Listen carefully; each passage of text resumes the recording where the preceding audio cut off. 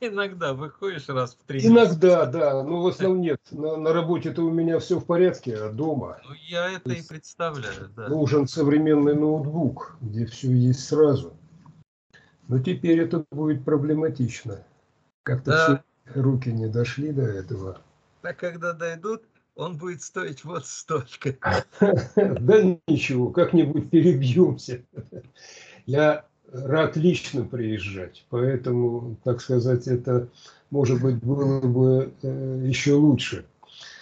У меня Я, вот вопрос... я думаю, что в А. этом семестре у нас последний такой вот. Еще одно заседание будет заочное. А потом уже... Мгм. А, нет, два заседания будут заочным. Одна дама из Перу, Чили, Эквадора, я не помню. А потом будет Юрий Анатольевич проведет мастер-класс заочно или онлайн из Саратова. А Понятно. потом мы, пожалуй, завершим с, этой, с этой Ну, до следующего года. эфирной Ну, связью, да. Да. Слушать-то не выступать. Это с этим все нормально. Это проблема значит- самому докладывать. У меня вот в связи с этим вопрос. Мы здесь все пользуемся зумом. Я точно не знаю, как подключать презентацию. У, Я опасно, может быть... Шарить Михаил десктоп. Ты знаешь, как Zoom включается? Зум? Так нет, я могу сюда Нет, подключить. Как Просто нужно знать, как, подключается к Zoom?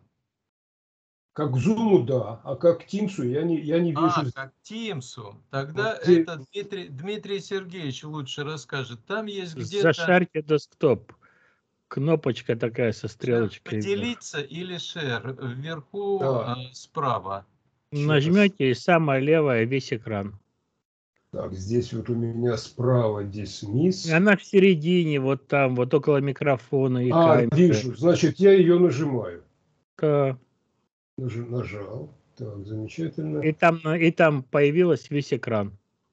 Зашарить. А, ну, прекрасно. Все, я тогда щелкаю. Да, ну. давайте, да. Замечательно. И мы тогда начинаем. Сегодня наш замечательный друг Александр Николаевич Цирулев расскажет. Я Очень прошу интересно. прощения. Я прошу прощения, но у меня я не вижу на экране. Не вижу на экране. А пока, вижу- пока Не еще не вижу свою презентацию. Нет, пока, Пока еще не не, видно, да. Да, это сейчас.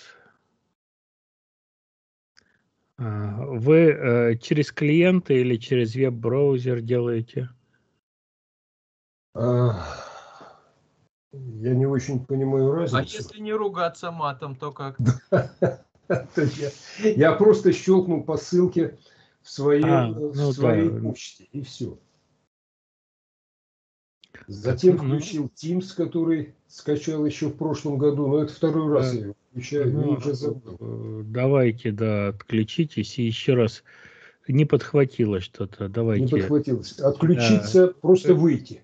Нет, там крестик, э, там, где была стрелочка, крестик. Так, у меня черный экран и больше ничего. Ну вот это вот панелька, на панельке на этой. Которая была шерить или делиться Да, и да. еще раз щелкнуть. Так, Restart the program. Я заново включаю. Ну, давайте, да. Хорошо, Потому что- я сейчас свое изображение отключу, на минутку отлучусь к своей теще. Дмитрий Сергеевич, ты пока покомандуешь. Да, Хорошо? да, да, да.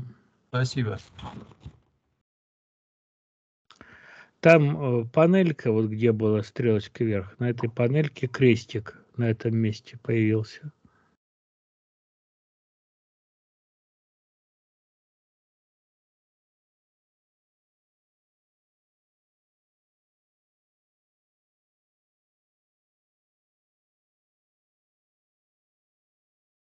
Ага.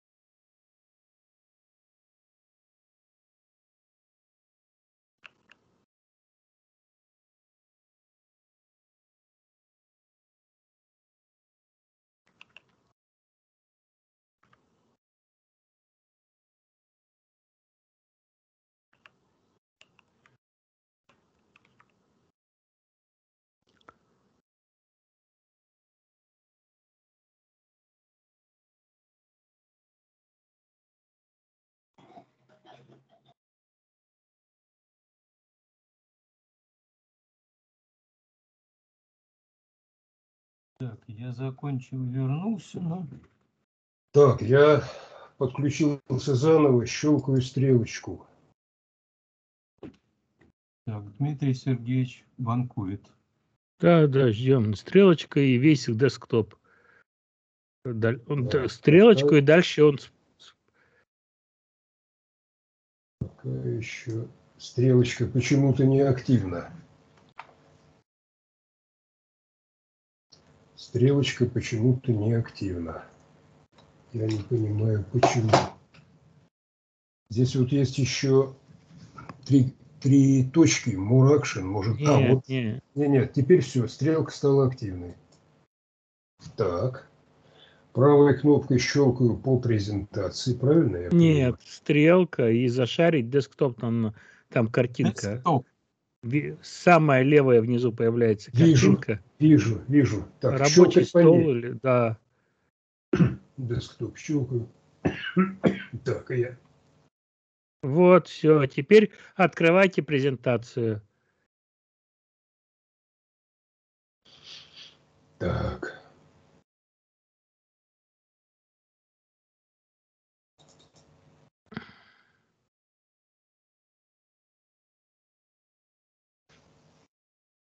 Вот. На весь экран давайте ее.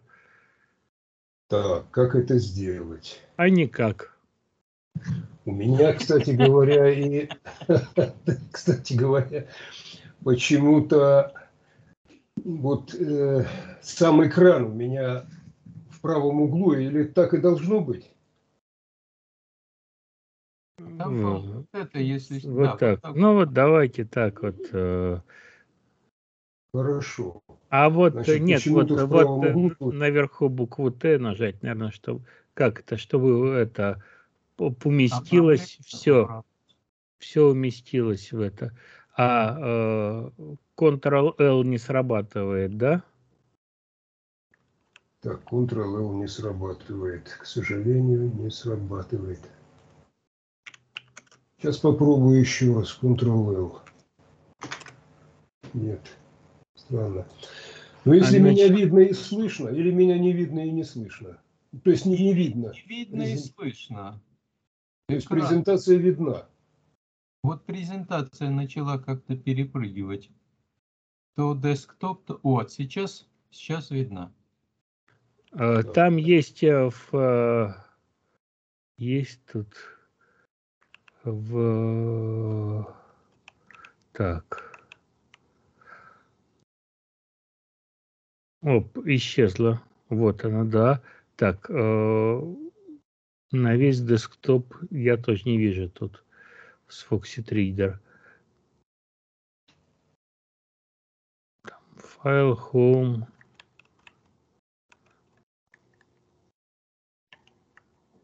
Вот на экране у меня есть, но у меня она на в этом самом Foxit Reader.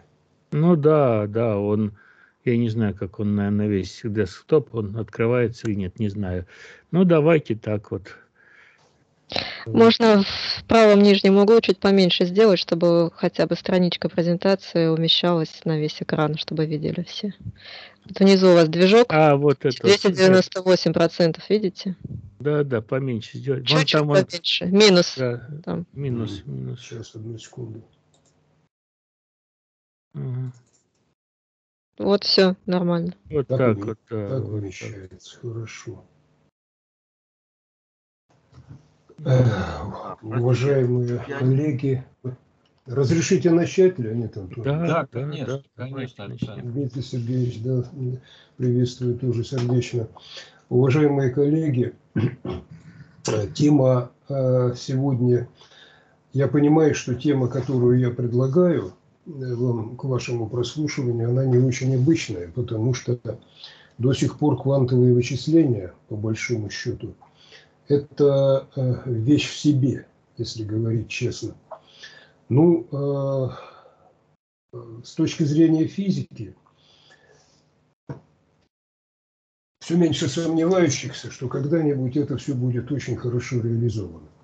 Но пока это, конечно, в основном математика.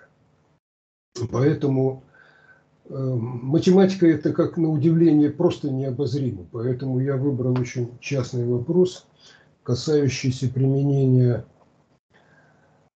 базиса Паули вот ко всем этим вопросам, которые связаны с квантовыми вычислениями. Я не буду э, заниматься конкретными какими-то приложениями, просто расскажу о самом базисе Паули.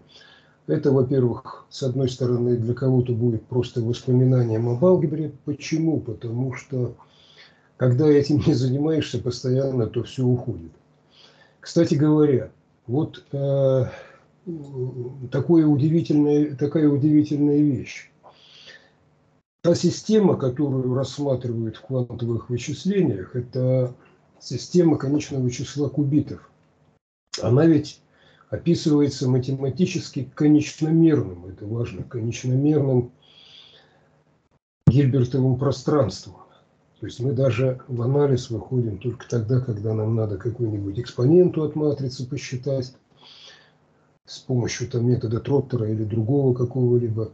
А так все это математика, которую изучают на младших курсах студенты.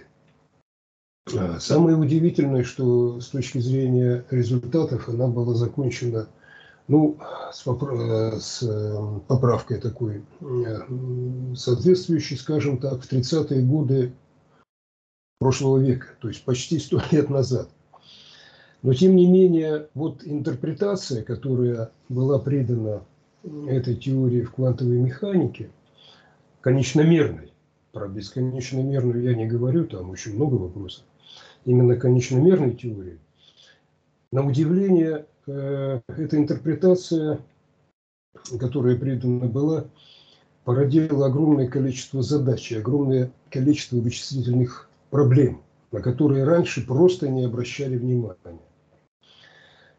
Ну, я начну с самых-самых основных определений. Постараюсь не занимать очень много времени у слушателей. И, кстати говоря, я не буду против, если э, мне будут задаваться вопросы сразу. То есть никаких вопросов нет. Э, я готов отвечать. Ну вот, э, с основных определений и обозначений имеет смысл начать. Значит, однокубитная система – она математически ассоциируется с двумерным Гильбертовым пространством. Ну, они, конечно, говорить с каким нет смысла, они все изоморфны. Ну и кроме того, там имеется еще пространство линейных операторов, которые есть тензорное произведение самого Гильбертового пространства и дуального, то есть орбитово сопряженного к нему. В свою очередь, n-кубитная система ассоциируется с тензорным произведением. Ну, э, однокубитных пространств Гильбертовых и, соответственно, точно так же пространство операторов – это тензорное произведение этих тензорных пространств. Операторы э, удобно считать действующими просто посредством свертки на другие операторы или на векторы из Гильбертового пространства. Это не важно.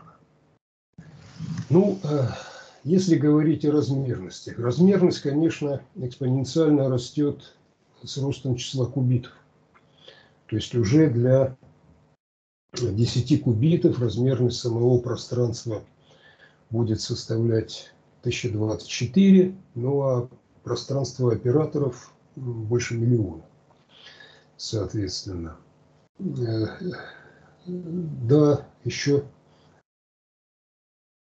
имеет смысл сказать, что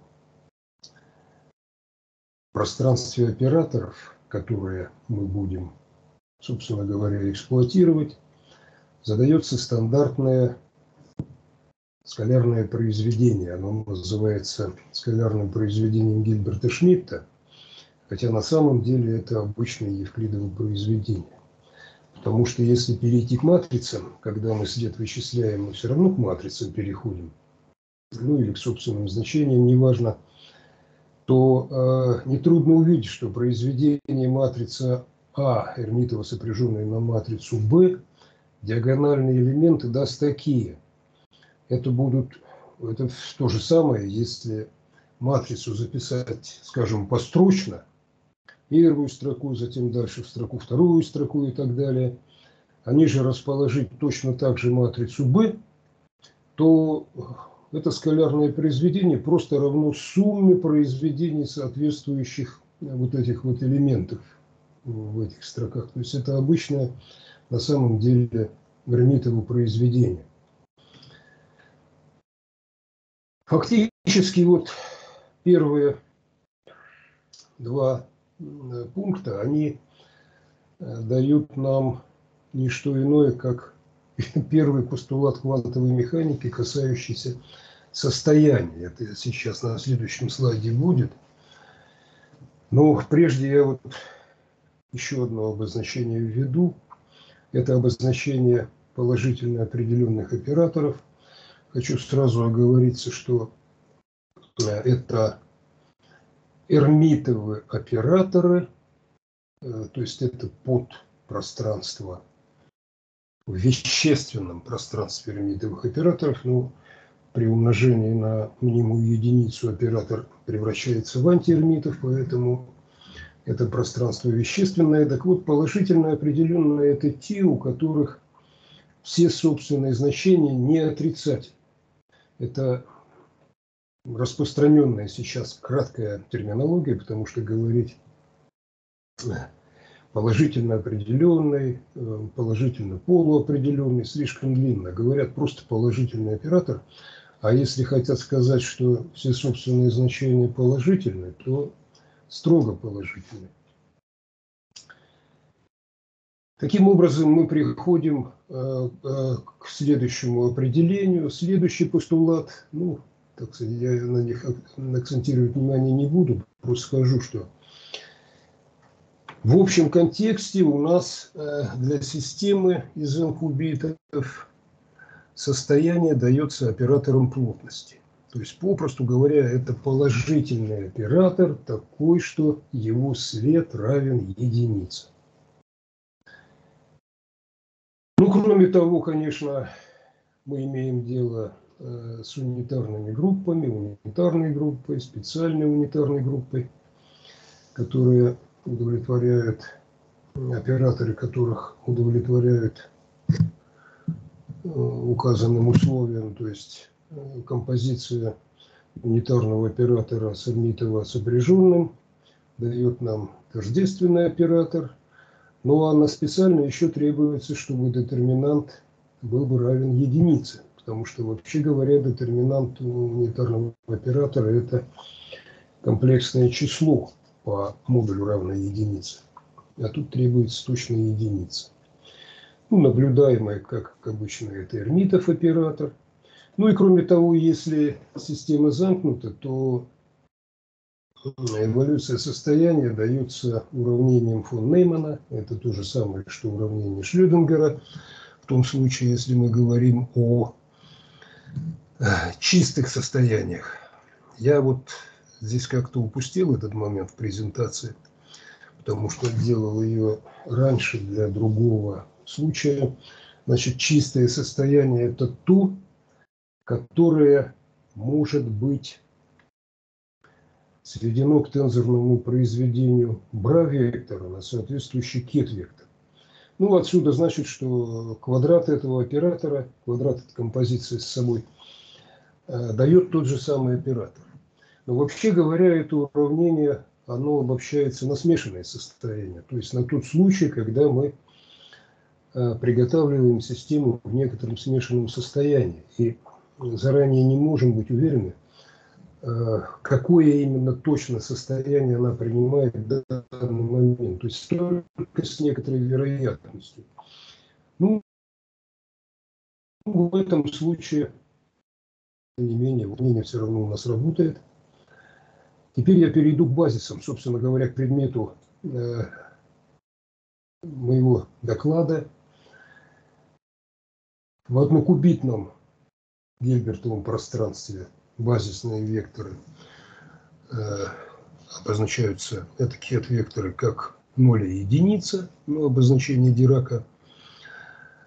В дуальном угловые скобки в другую сторону направлены. Ну и четыре, как и положено, четыре оператора, которые, собственно говоря, принимают вот такой вид. Это операторы из L от H, пространство оператора. Я хочу обратить внимание, что базис этот всем хорош. Его часто называют вычислительным, хотя это и неверно, потому что вычислительный любой базис, ну, стандартный. Но э, тут нужно иметь в виду, что вот эти все операторы, они не эрмитовы. Вот хотелось бы, чтобы операторы были эрмитовы. Известно два таких базиса. Один из них это обобщенный базис Гелмана, а второй это базис Паули. Причем мне кажется, что вот с вычислительной точки зрения э, базис Паули лучше, потому что с ним легче работать. Ну, фактически он состоит из, из вот операторов. С матрицами, когда мы имеем дело с большим числом кубитов, работать невозможно, потому что уже при n равно 4 мы получаем матрицу 16 на 16, это многовато. Надо заметить, что операторы Паули относительно введенного скалярного произведения ортонормированы, то есть образуют ортонормированный базис. Выражаются они через э, стандартный базис вот по этим формулам. Обратное выражение, ну, фактически очевидно. Тут, так сказать, никаких проблем нет. Теперь, если брать стандартный базис э, для Гильбертового пространства,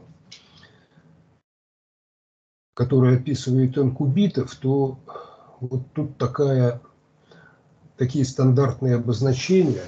Но если дело с этими обозначениями вы не имели, то они, как я заметил в разговорах частых на эти темы, они не такие уж стандартные. Итак, базис он состоит из базисных, из произведений однокубитных базисных векторов, то есть К1, К2, КН, они принимают значение 0 и единицы. Обозначается такое тензорное произведение символом кет вектора, там вот эта бинарная строка К1, К2, КН. Ну, конечно, это не очень удобное обозначение во многих случаях, поэтому просто заменяется оно десятичным числом. Бинарное число переводится в десятичное. Что касается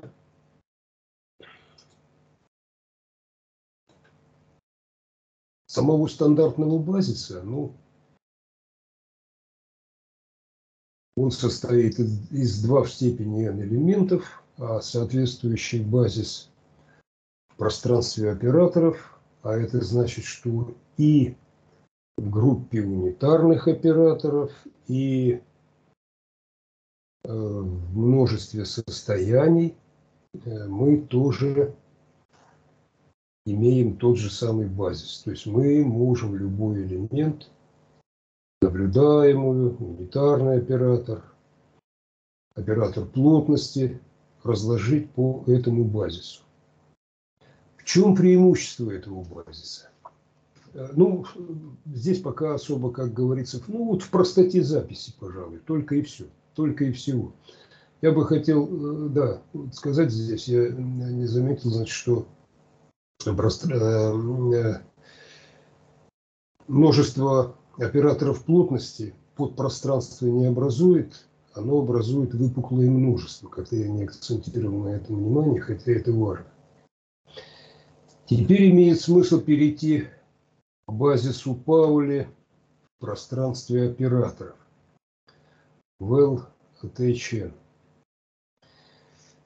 Ну, тут тоже своеобразное, своеобразное обозначение. Они уже не такие стандартные. Ну, вот я считаю, что удобно пользоваться именно такими. То есть тензорное произведение однокубитных операторов записывается вот в таком виде. Это в виде э, оператора сигма и там строка. Но строка теперь не бинарная, а теперь это строка из арифметики по модулю 4. То есть фактически из кольца F4. Вот. И другое обозначение также сигма, вот К большое. К большое это десятичное представление вот этой вот строки по основанию 4. Так удобно обозначать операторы базиса Паули. Ну, это часто встречается. Базис Паули состоит из 4 в степени n элементов, как положено. Но главное его, да, и он ортонормированный также. То есть, поскольку я напомню, что след тензорного произведения равен произведению следов сомножителей, то в результате мы получаем из э, самого определения, я вот сюда вот перейду, из самого определения э, скалярного произведения мы получаем, что нам надо взять тензорное произведение однокубитных элементов. Однокубитных элементов. Тем самым мы получаем ортонормированность этого базиса, потому что все следы однокубитных элементов, они равны или нулю, или единице. Ну, то есть, когда э, вот эти буквы К и Л, строки К и Л совпадают, то все нормально. Потому что нулей в произведении не будет. В чем преимущество этого базиса очевидное? Оно заключается в том, что все базисные элементы эрмитовы.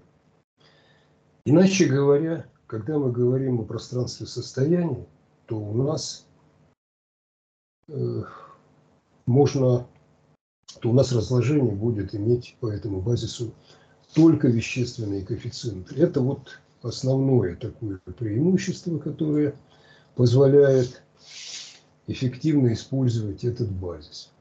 Ну, некоторые свойства базиса Паули, вот они здесь отражены – для однокубитных операторов мы имеем следующее соотношение. След любого из операторов равен нулю. Квадрат, в смысле композиции любого из операторов, есть тождественный оператор сигма 0, единичный оператор в двумерном гильбертовом пространстве. А кроме того, стандартное соотношение Паули, которые э, полезны будут в будущем. То есть Важно то, что композиция двух операторов Паули однокубитный дает другой однокубитный оператор Паули. Плюс ко всему прочему, антикоммутатор такой композиции равен нулю. Ну вот, собственно говоря, если перейти теперь к инкубитным операторам Паули, то удобно обозначить вот жирным нулем единицу, единичный оператор, тождественный оператор. И тогда мы немедленно получаем, что след этого оператора равен 2 в степени n. Ну, понятное дело, потому что след каждого из сигма 0 будет равен 2 здесь вот выше, сигма кт 0, имеется в виду, что k принадлежит k, l и m принадлежит 1, 2, 3. Если k равно нулю, то это не имеет места. След этого оператора единичного, конечно, равен 2 в однокубитном случае. Следовательно, произведение n таких следов даст нам 2 в степени n. Ну, если это не тождественный оператор Паули, то его след, очевидно, равен нулю. Потому что там непременно будет умножение на ноль. Кроме того, квадрат любого из операторов Паули дает нам единицу, единичный оператор. Так, это лишнее. Оно, так сказать, просто попало, по-видимому, сюда из предыдущего слайда. Еще одно свойство, что 4 в степени n плюс 1 операторов Пауля, они вот даются э, элементами базиса Пауля, умноженными на плюс 1, минус 1, плюсы или минусы. Они определяют так называемую группу Пауля. Относительно операции в группе – это композиция оператора. Это композиция оператора. Вот эти свойства группы Пауля, они большую роль играют в использовании базиса Пауля. В частности, они используются в рассуждениях с группой Клиффорда, а группа Клиффорда, я ее не рассматриваю здесь, потому что это отдельная большая тема. Группа Клиффорда – это нормализатор группы Паули, то есть, иначе говоря, э, она состоит из тех операторов, для которых преобразование подобия, ну то есть оператор Эрмитова сопряженный умножить на элемент группы Паули и опять же умножить, то есть взять композицию с самим оператором, даст нам опять элемент из группы Паули. То есть это операторы, которые группу Паули переводят в себя.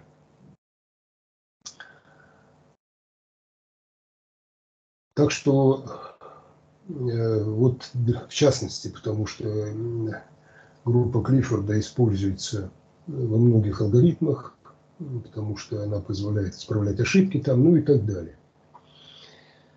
Ну вот, во-первых, чтобы говорить о группе Паули, удобно ввести вот на этом множестве 0, 1, 2, 3, множестве индексов у однокубитных операторов Паули – операцию умножения. Это операция умножения, на самом деле это операция э, в 4 в группе Клейна четвертого порядка.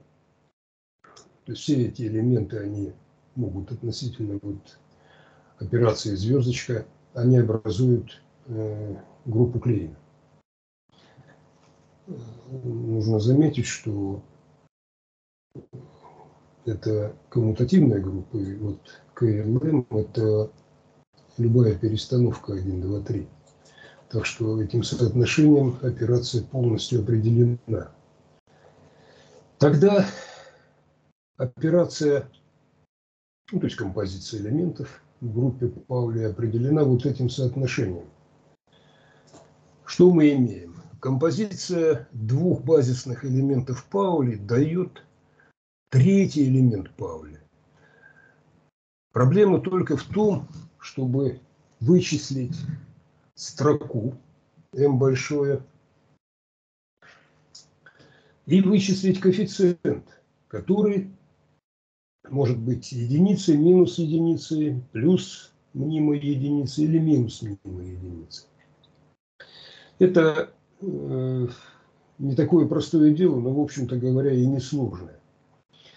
Таким образом, вот если мы вот эти три строки, три числа фактически по основанию 4 имеем, э, то в этом случае у нас строка m вычисляется следующим образом.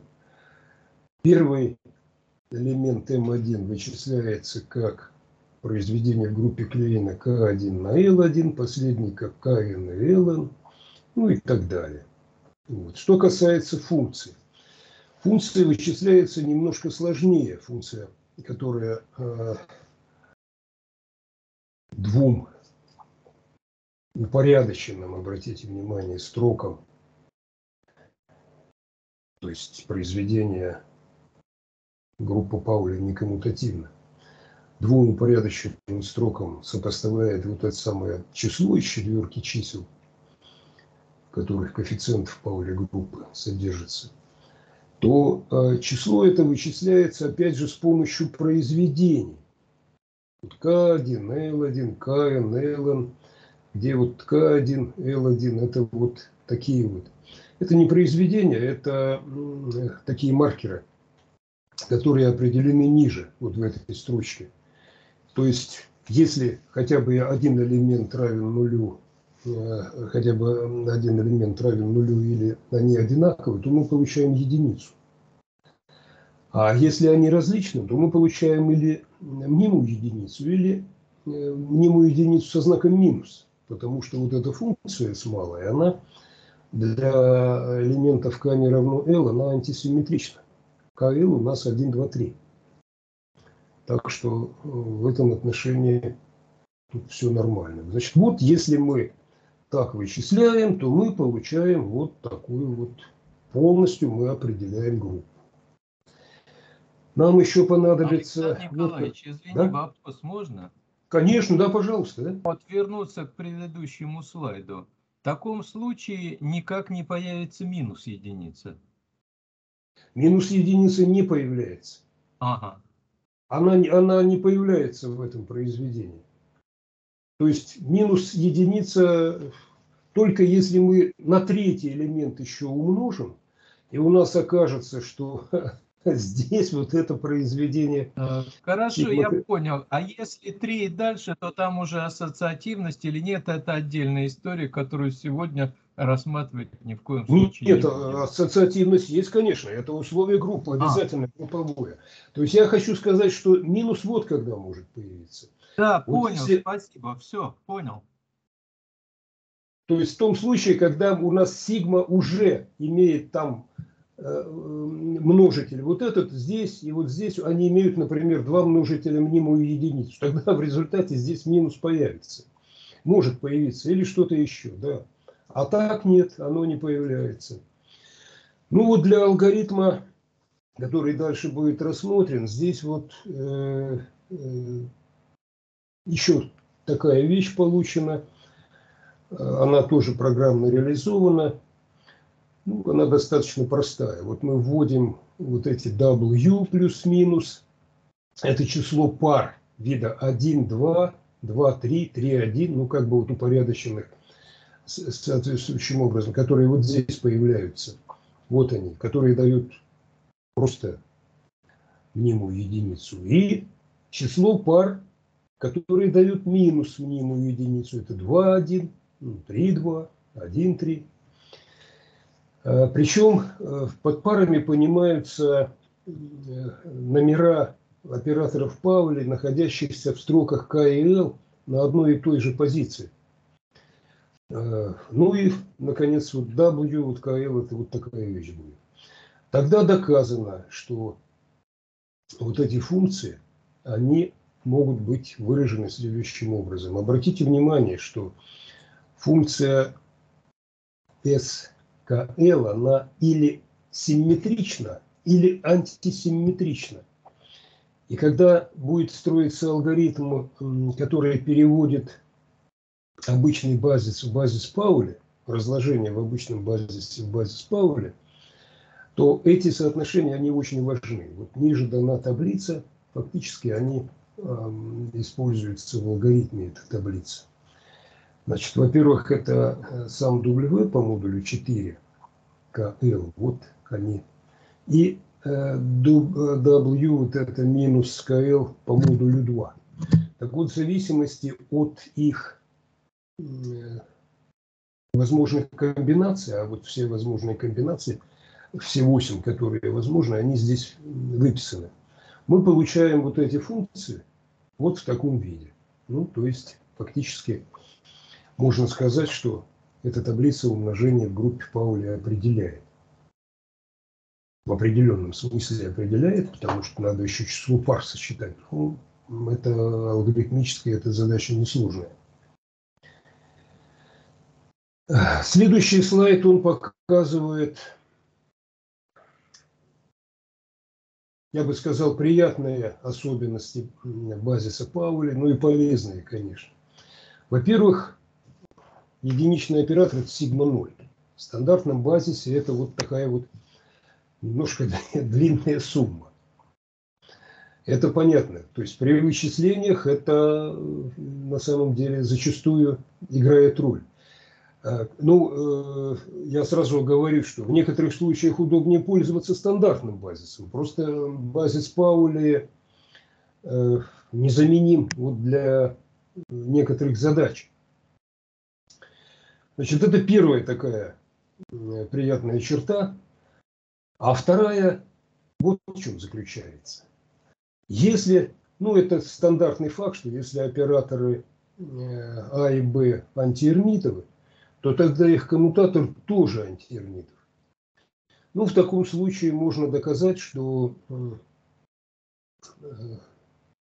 вот эти антиэрмитовые операторы, которые вот здесь вот, все четыре в степени n этих операторов, они образуют алгебру Ли относительно стандартного коммутатора операторов. Это алгебра э, Ли вот этой группы. Я ошибочку маленькую здесь допустил. Здесь вот не ноль, а единичка. Э, если у вас видно то, что я отмечаю, Леонид Антонович, видно, что я отмечаю курсором? Видно, видно, Александр. Спасибо. Значит, здесь должна быть единичка. Размерность этой группы n квадрат, ну, n квадрат минус единица. n большой квадрат. n большой квадрат 4 в степени n. Вот. Они образуют э, вот эти операторы алгебру Ли. Ну, когда это удобно? Это удобно вот когда. Потому что когда вы начинаете вычислять матричную экспоненту, ну вот, например, вот такого вида, я бы э, вот здесь вот ее запишу, вот здесь вот я ее, где H это любой, в принципе говоря, оператор, то есть много методов для ее вычисления, но в любом случае очень важно то, что любой унитарный оператор в этой группе, он лежит на левой инвариантной кривой, проходящей, проходящей через единицу группы. То есть это вот такая вот однопараметрическая подгруппа, проходящая на кривой левоинвариантного поля, которая проходит через единицу группы. Это однопараметрическая подгруппа. И в этом смысле – а как только это так, то мы, в принципе говоря, этот оператор можем разложить э, по базису Пауля и вычислять его теми методами, которые это используют. С обычным стандартным базисом это, конечно, невозможно. То есть, если у нас задан оператор в стандартном базисе, большинство методов вычисления матричных экспонентов просто не работают. Значит, вот это вот вторая такая приятная особенность. И третья заключается в том, что если мы подро понимаем Эрмитов оператор, то в разложении вот в этом, как я уже говорил, в разложении 1, все коэффициенты вещественны. Это ну, э, играет роль в вычислениях. Кроме всего прочего, след этого оператора, как только мы представили его в виде разложения по базису Пауля, он оказывается равным просто коэффициенту при сигма 0. Причем, если ρ – это состояние, то есть оператор плотности, положительно определенный со следом равным единице, ну тогда с необходимостью. Этот коэффициент а 0, он единице равен – и, кроме того, второе неравенство надо доказать. Все коэффициенты не превышают единицу, а сумма квадратов этих коэффициентов не превышает 2n. Ну, последнее очевидно. Ну, собственно говоря, вот это второе неравенство в этой строке можно, доказ, можно доказать, используя вот Четвертое такое приятное, четвертую приятную особенность, а именно то, что если мы с вами берем тождественный оператор и любой базисный элемент, то мы получаем проекционный оператор. Ну, для стандартного базиса это очевидно не так. Это так только для n из них. А именно, это когда в базисном в этом операторе стандартного базиса – бра и кет векторы совпадают. То есть только для n это. А здесь вообще для любого. Это тоже, как оказывается, вот при вычислениях такая стандартная ситуация. Я сразу говорю, что я э, не сказал бы, что все это было неизвестно вот до того, как я все это говорю. Все было известно. Другое дело, что, как ни странно, вот в литературе я какого-то такого более или менее внятного описания э, базиса Паули как такового не нашел. Только отдельные кусочки. Это вот такая более-менее э, собранная вещь. Но вот это неравенство, Александр Николаевич, да? можно одно да? слово скажу? Да, пожалуйста, сколько хотите, Леонид да. Антонович. Чьи вопросы тоже, да?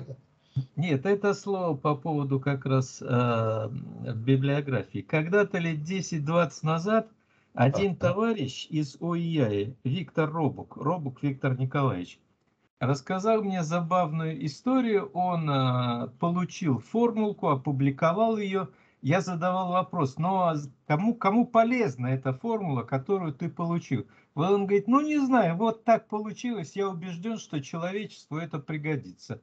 Он в двумерном пространстве раскладывал экспоненту по матрицам Паули в линейную комбинацию.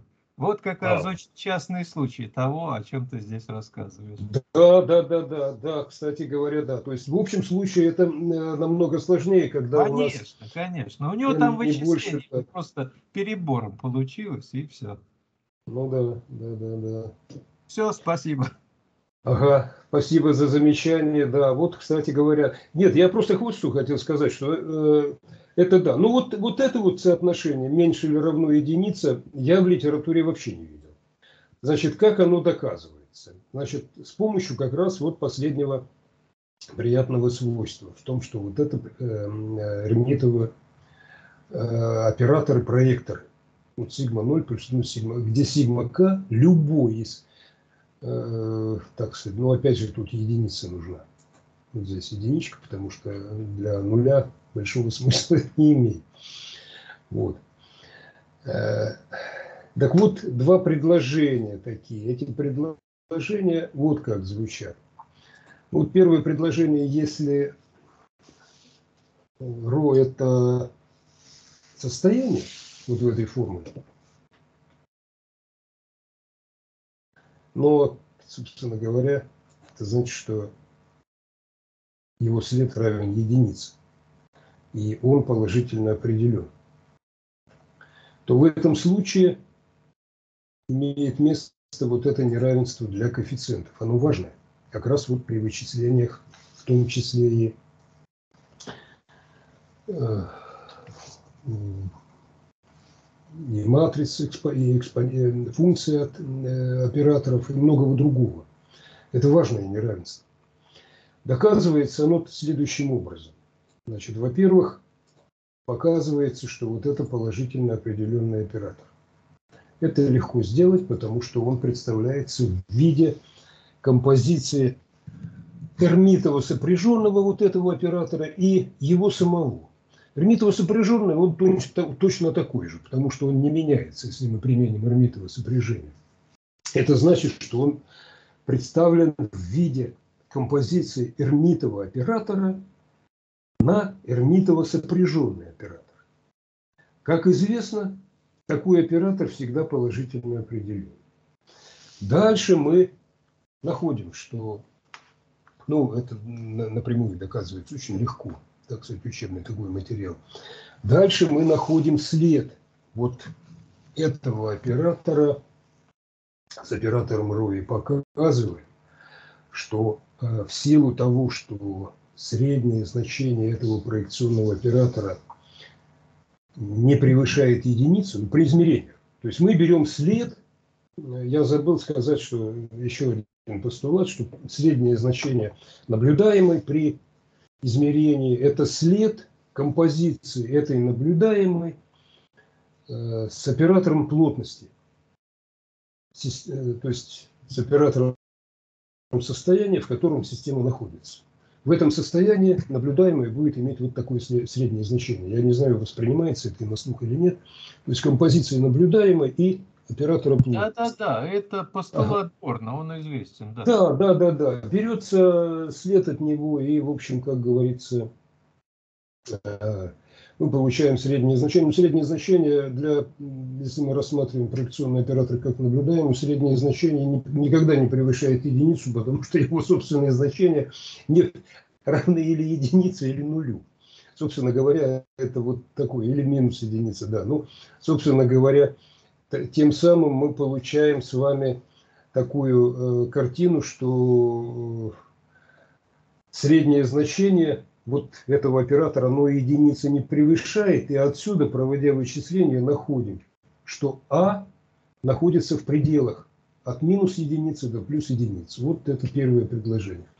Второе предложение, оно э, вот что нам дает.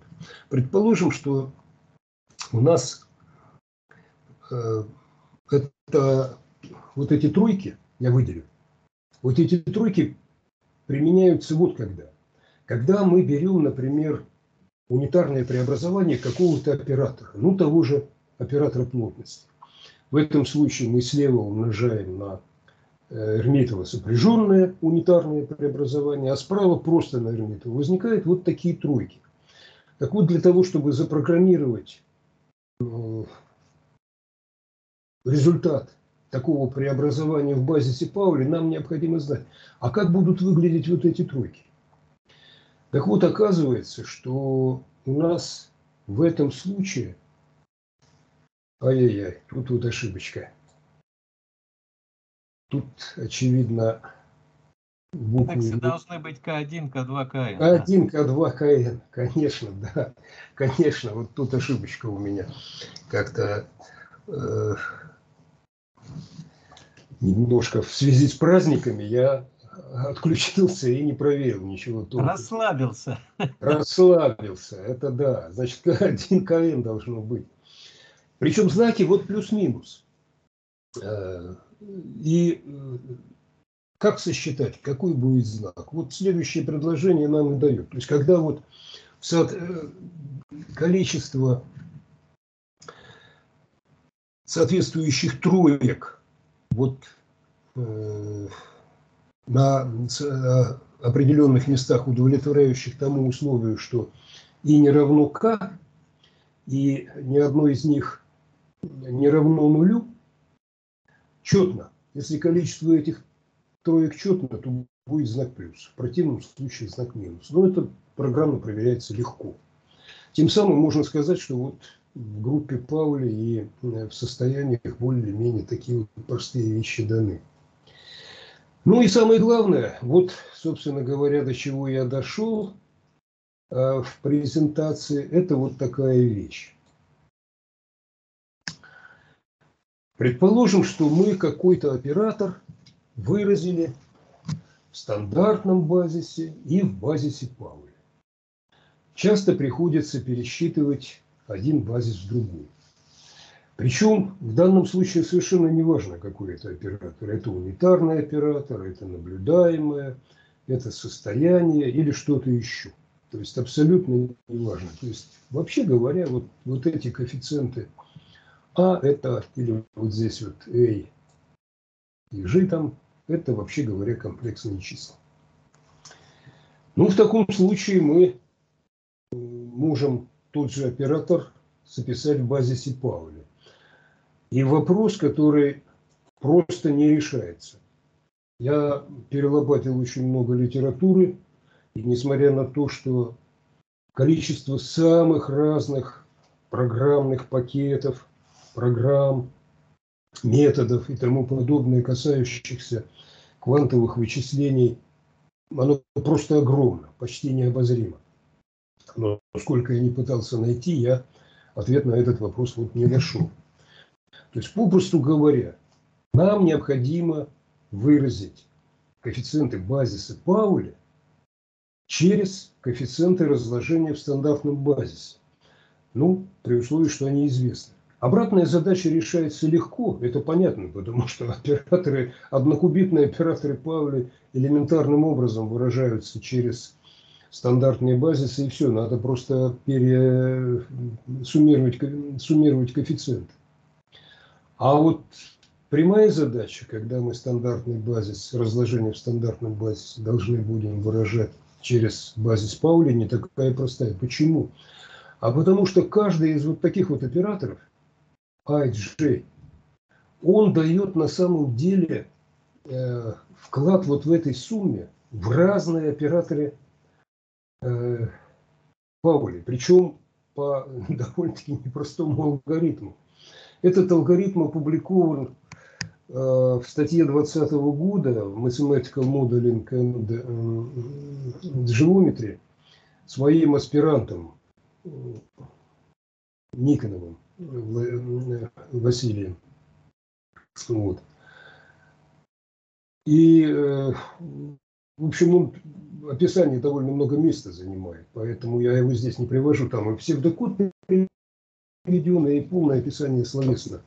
Значит, э, я просто привел, привел три примера. Вот, например, 1.0.0.1. То есть он сразу дает нам какой-то вклад, это в случае двух кубитов, сразу в 4 таких вот четыре коэффициента при вот этих вот операторах Пауля. Сигма 1,1, сигма 1,2, сигма 2,1 и сигма 2,2. Если мы берем 3 кубита, то 8, ну и так далее. То есть это будет у нас 2 в степени n. И когда у нас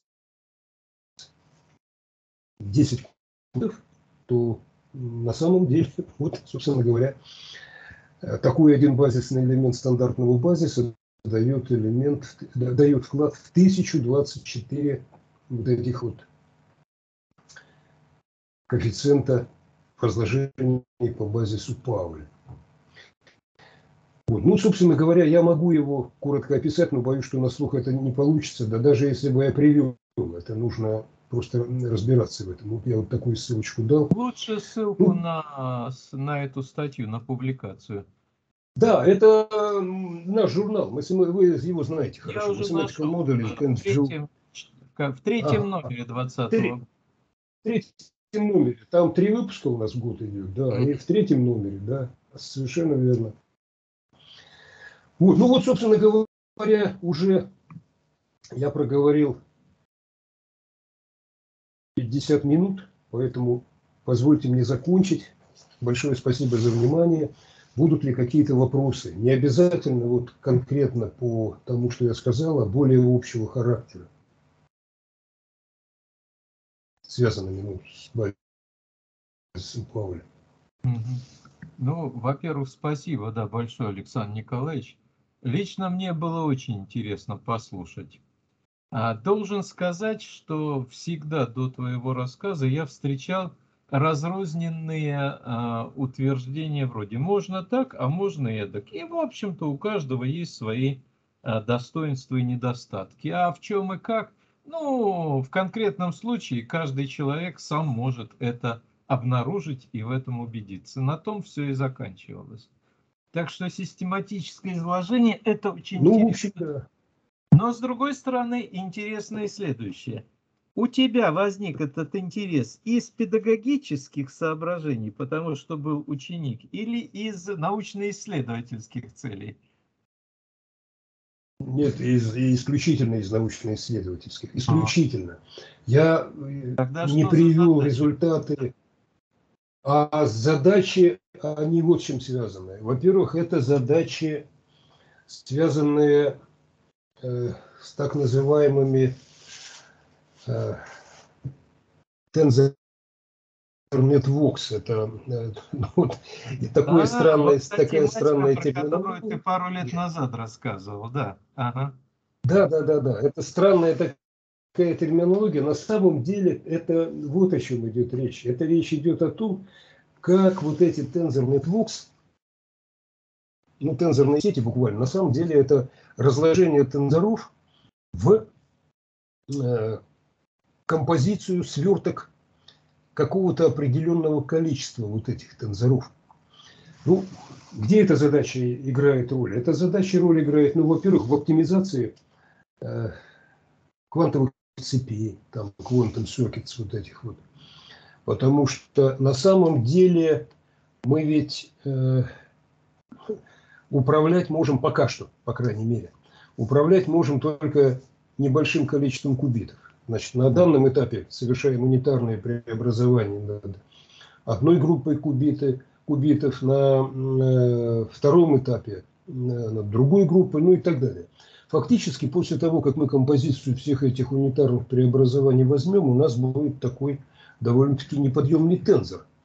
И вот предположим, что нам необходимо, это просто одна из задач, предположим, что нам необходимо это унитарное преобразование разложить по какому-то, по какой-то вот такой вот цепочке более простых унитарных преобразований. То есть фактически представить его в виде композиции. Вот оказывается, что в базе, в базе Пауля это делать зачастую, очень часто, гораздо проще, чем в стандартном базисе. Как Сейчас вот... меньшей валентности тензорных выражений. Э, ну, валентность та, же самая, там свертки. То есть, но дело, другое дело, что число значимых компонент у каждого из э, вот этих вот сомножителей в композиции, число значимых компонентов, оно намного меньше. Ну вот, например, там, э, я даже не знаю, это э, тензор, у которого матрица, вот, допустим, если взять тензоры ранга 2, это матрица, или там ранга 4, это матрица, у которого, допустим, две первые строчки местами поменяли, но свап это называется, свэп. Mm-hmm. Вот, а остальные на месте остались. Или ценут. Ну вот комбинацию вот таких вот. Mm-hmm. А ценут да, это когда у нас, ну вот, вот собственно говоря, вот так, такого рода вот в комбинацию можно на матричном языке все это делать. Но на матричном языке, когда у нас э, 10 кубитов, ну, я не знаю, там эта матрица тысяча на тысячу, немножко э, даже само представление. Матрицы хорошо наглядность имеют. Когда как шутят энтузиасты а квантовых так... компьютеров, для этого нужен компьютер, э, квантовый компьютер.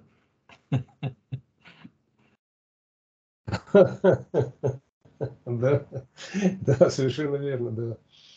Совершенно верно. Вот. Хорошо, Поэтому... спасибо, спасибо. А еще у кого какие вопросы или замечания?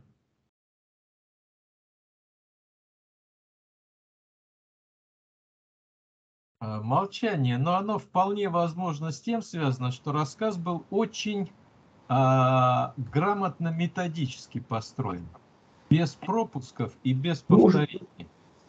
Прошу прощения. Вы еще знаете, чем связано. Да, да, да. Да, Саверий, слушаем. Да, да. У меня такой вопрос. Я не мог слишком внимательно слушать, но я понял, что рассказ чрезвычайно интересный. А запись можно будет потом посмотреть? Будет ли она доступна? Вы имеете в виду презентацию? сбросишь? А я, конечно, я Леониду Антоновичу перешлю. Да, перешлю и прямо сейчас. Спасибо. Да, Спасибо. я перешлю, перешлю прямо, прямо сейчас. Это, да. это, знаете, может быть, вопросов нет еще вот почему. Я ну, в самом начале сказал, что на самом деле квантовые вычисления – это такая вещь в себе. У нас в стране этим занимается очень небольшая группа лиц, и э, причем половина из них все время там сидит. Э. У них. А почему? Потому что практического значения не имеет. Э, в принципе, у нас у всех, у каждого, так или иначе, какие-то практические задачи. И в... да, нет, ну, ну, кого у них? Пока по квантовым вычислениям практически их задач нет. Почему? Потому что, э, ну, это плохая новость, я уже сказал, это вещь в себе.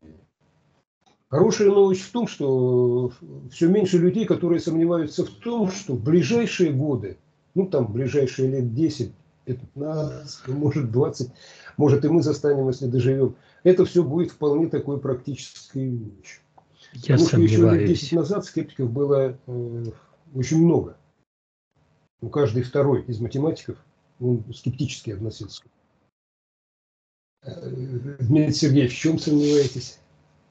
В реализуемости. А, вы, в том, что они вообще существуют.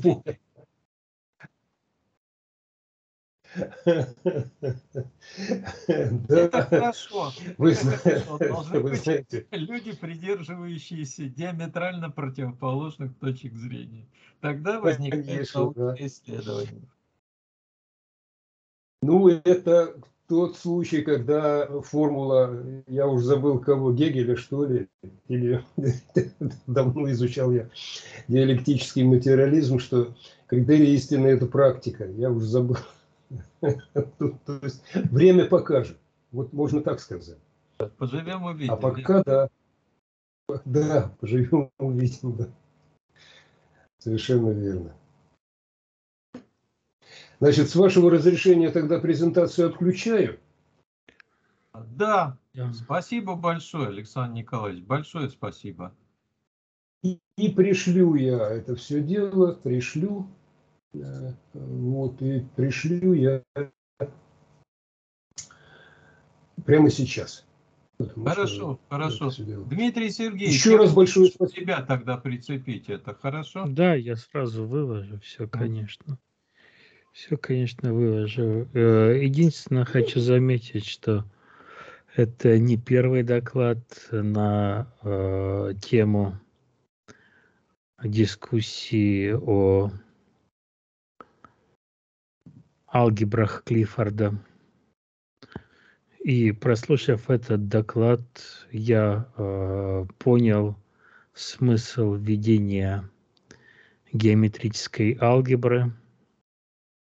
А, Там хотя бы простому человеку все понятно. Ясно. Дмитрий Сергеевич недавно сделал несколько докладов по геометрической алгебре, а сейчас он сказал, Это не я. вы поняли, гады, что это очень полезная штука. Очень, очень. Я, Дмитрий Сергеевич, с вами очень согласен. А если, э, как говорится, даст Бог, все будет хорошо и доживем, я могу сделать доклад. Вот у нас как раз, я надеюсь, в скором времени появятся результаты, связанные и с алгебрами Клиффорда. То есть э, в данном случае это речь идет скорее о, гру- о группе Клиффорда, потому что алгебры Клиффорда это те, с помощью которых спины вводятся, да. А это группа Клиффорда. Но тоже очень. То есть алгебра это это- нормализатор группы. П. Это касательно расслоения на группах Клиффорда. Так что. Ну да, да, да, да. Да, да, да, да. Угадал, угадал, Да. Дмитрий Сергеевич. Хорошо, это будет Мгм. интересно. Если в будущем семестре получится, то мы будем очень рады послушать, Александр Николаевич. Ну, а я всегда рад приглашению. Да. Мгм. С удовольствием, да. И может быть даже я. Я в Москве часто бываю, поэтому может быть даже я смогу приехать, и тогда разговор будет совсем другой. Да, Э, тогда он не- более живым оказывается, верно? более живым, и там у вас есть доска, на которой можно что-то писать, если что-то там, так сказать, возникнет. А здесь я не умею это делать. К сожалению, это пробел в моем вот таком компьютерном пользовательском ты образовании. человек, да. Мало, мало, мало, совсем мало. Ну, не знаю, как, где найти время, чтобы это, эту образованность повысить. Не надо, не надо. Лучше доской пользоваться. Пусть молодые люди в этой области образовываются и помогают нам излагать наши мысли. Спасибо, А им- им даже не Большое надо. спасибо. У них все само получается. Спасибо. Всем большое спасибо за внимание. Всех благ, уважаемые коллеги. До свидания. да, до свидания.